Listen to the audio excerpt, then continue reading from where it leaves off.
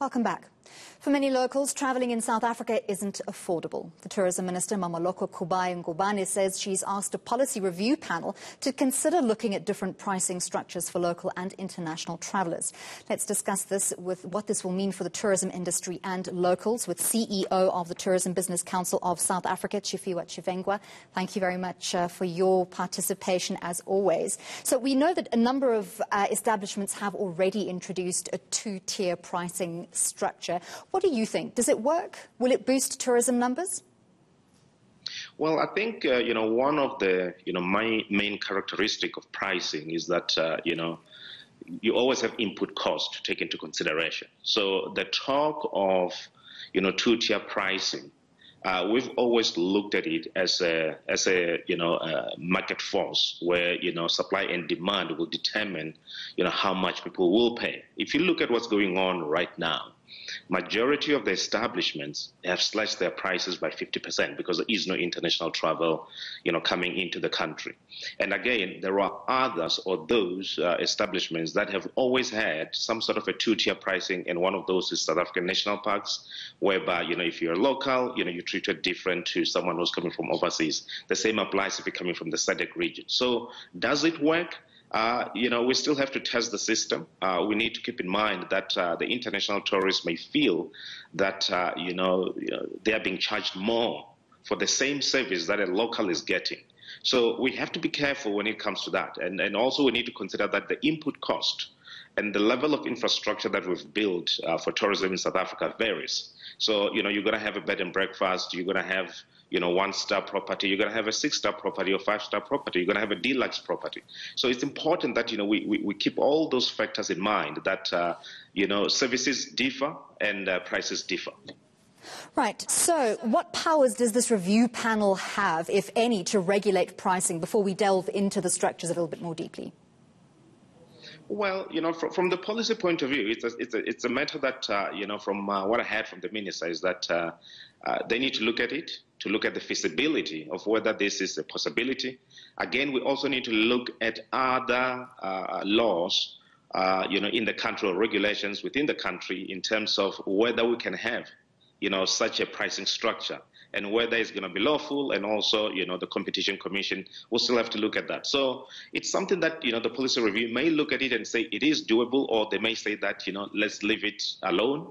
Uh, South Africa is, a, uh, you know, we operate on a, a market economy uh, where supply and demand determines, you know, how much goods and services will cost. So they may leave it as that, or they may recommend that, you know, it be changed, whereby we're going to have to look at how it can be changed and whether it's going to be feasible. So you mentioned earlier that prices have already been reduced up to 50% in comparison to what they were prior to the pandemic. Is there still room for further reductions without cutting into institutions or establishments' profitability? Look, if, if, you look at the price structure now that we have, the 50%, and others are even going to 80% discount, you've got to look at it from, from how the price is constructed. So the fact that we have electricity price going up by you know 15%, your rates and taxes are, are going up, uh, water is going up, and many other things are going up.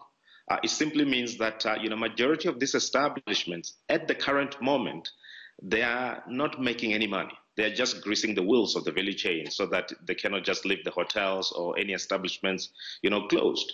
Uh, it's not profitable. Uh, and it's not something that uh, you know it's sustainable going forward. Uh, but you know the conditions that we're in at the moment, you know, uh, and and and how you know the, the properties are trading warrant this price that uh, it's out there in the market. In essence, we're doing this to make sure that people are still going to work, and we, we're doing this to make sure that you know our properties remain open, but there's no profit attached to it. And some of these establishments are running at a loss but at least you know the wheels of the value chain are starting to move. And as those wheels move, uh, staff are retained, which is obviously one of the key uh, elements in, in the whole value chain. Uh, let's talk about some other ways establishments can possibly entice local visitors to see the country and spend their money, uh, because people have been uh, kept in, in relatively tight conditions for, for long periods of time. There is an appetite to see the country and to travel. Uh, what can we look at in terms of possibly um, adjusting how establishments approach cancellation uh, policies? Is, is, that an area where there's movement and where you know customers would feel uh, more likely to make bookings? Uh, look, you know, one of the things that's quite important uh, is the point that you said uh, of cancellation, and that applies for both domestic and international. You know, when you look at what's going on now, you know, if tomorrow we get a new restriction and people want to cancel or postpone their trips, as a sector, it's something that we've been practicing to be more flexible and to allow people to postpone, to change, and to make sure that you know they can uh, they can come at a later stage. Now, on the issue you know that you raise in terms of what is it that establishments can do you know, to make sure that more tourists, you know, uh, you know, local tourists travel and experience these establishments. I do believe that, uh, you know, uh, uh making sure that uh, uh, the services that are being offered are bundled. So, as an example, if you're going to to a particular hotel, you know, you can be offered, uh, you know, when you're at this destination, you can do bungee jumping. You can, you know, go and do other activities that are included within the price so that we broaden the experience of domestic travelers so that when you arrive there, you know that, you know, your schedule is full and there are various things that you're going to be doing, including wine tasting or you go for beer tasting and many other things that you could do within the area and making sure that, you know, tourism, you know, flows into the community around the area. So those are the things that uh, we need to improve on to make sure that, you know, when we bundle, you know, our, our services, we ensure that uh, we include many things that are critical for people to see in the area and they can enjoy and they can go back home with different experiences. So improving on the service delivery, adding more things, you know, will encourage more tourists to travel, you know, across the, the country. South Africans tend to think very creatively, uh, but we are also uh, very, I think, in some instances, selfish. We, we tend to think that, you know, if, if, when we're attracting people's business, we need to make sure we get that business for ourselves. Do you think that's holding establishments back from bundling, like you speak, collaborating with uh, fellow uh, destinations in the area to create packaged uh, destination op options? Look, you know, if, if, if one does only one thing, you know, it limits, you know, the business into that one particular thing. It, it will mean that, uh, you know, people will look at it and say, well, if I go to this establishment, I can only go there and that's it. You know, but if I go to establishment B, you know, these things are bundled in a way that I know I'm going to enjoy various things that are tourism related if I go to that establishment they will choose the other establishment. So what we ought to do, and it's something that we have to work harder on, you know, as a tourism industry, we've got to make sure that we incorporate the, the, the communities around the tourism establishment you know, when we offer these services. Let's make sure that if this is an establishment that's sitting in a rural area, let's organize with the rural, you know, area. Uh, uh, you know, people are in charge. Let's make sure that there are cultural things or traditional things that people can attend. Uh, the same applies, you know, as I've said, if you're in a place where there are wineries, there are farms, let's incorporate the visit to those farms and wineries.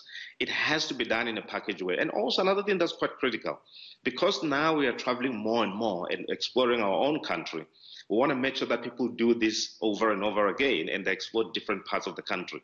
So bundling, you know, uh, uh, the offering with many different things makes people realize that, you know what, I can go to this place annually uh, because I know I'm going to do these five things that I can take my family with or my friends with. So it is a better way of doing things, and it's, it's, it's a place where we need to improve as a tourism industry. Very quickly, before I let you go, you mentioned earlier that uh, the panel that's looking into uh, two-tiered pricing structures for locals and international tourists have a lot of considerations they need to make. When are we looking at expecting a decision from that panel?